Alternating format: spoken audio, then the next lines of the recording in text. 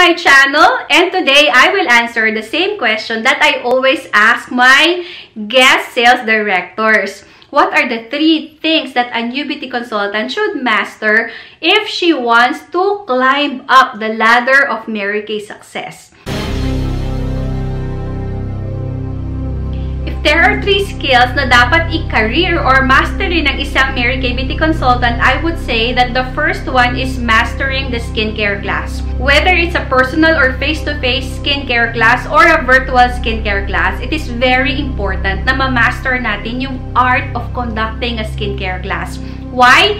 Number one, dito na build yung trust ng customer sa Mary Kay as a brand. Number two, dito rin nabubuo yung trust ng customer at sa Mary Kay products. And finally, dito talaga nababond yung trust ng customer at sa iyo as a new beauty consultant or as her beauty consultant.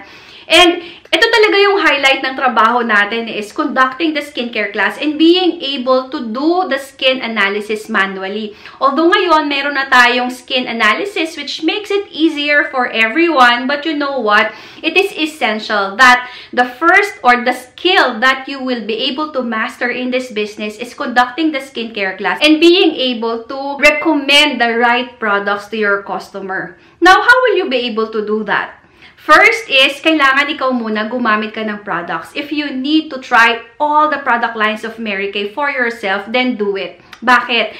When you try the product, you get to feel the actual feeling of using the product. Ikaw mismo nakikita mo yung result ng product. And because na-try mo na siya, mas madali mong i-share yung value, yung ganda, yung quality, and yung effect ng product sa'yo. Right? So, number one is master the skincare class. Number two is master the products. No? So, we are in a direct selling business and we sell products. We sell skincare products. And ang tawag sa atin are Mary Kay Beauty Consultants. Beauty Consultants. And consultant is synonymous to what? Expert, diba? So, you need to be the beauty expert of your own. How do you do that? Attend the product hack every Monday in the Mary Kay Facebook page. Every Monday yan, meron. So, kung ngayon ka lang pumasok, that's fine because lahat ng mga naging product hacks before, since nag-start yung Mary Kay, nandoon siya sa Mary Kay page. And you can just easily go there and watch all those previous product hacks.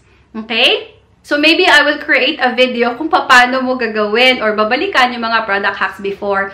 Second, personally, in my YouTube channel, I have Mary Kay product videos that you can use. So, the way I deliver the product presentations here are in such a way that I would deliver it to my customer. So, if you want to copy the scripts that I said, the way I said it, it's fine. Ang importante, matutunan mo na rin sabihin and ma-build mo yung confidence kung paano mo sasabihin or i-present or i-explain sa customer mo yung products. Number three is people skills. We are in a people's business and it is essential that we will be able to relate to any person whether mataas man ang posisyon niyan sa pinagtatrabahuan niya or mababa man yan, ba? Diba? It doesn't matter. You need to position yourself and your mindset in such a way that you will be able to communicate to all levels of people. ba? Diba? So that means i-boost mo yung confidence mo. Because, alam mo ba, yung mga alam mo, pwedeng hindi yan alam ng iba. Iba-iba tayo ng alam, iba-iba tayo ng talent. So, make use of the talent that you have and use it. Convert it, transfer it into your Mary Kay business. ba? Diba? So, that is my uh, tip.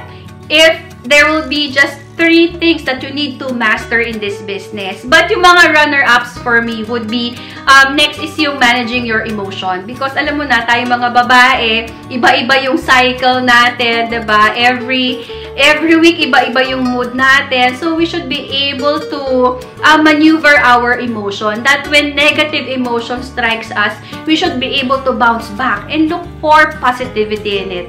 Diba? So, master your emotions. Be the captain of your own boat. Ayan. So, your emotions. And of course, yung personal, business, and people leadership.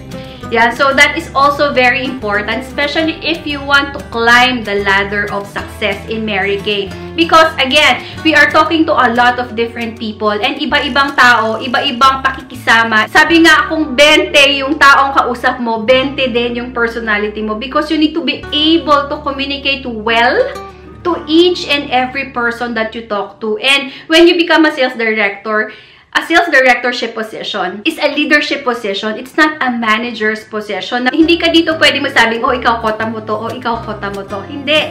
You should be able to inspire them, influence them, and motivate them to reach their own personal goals.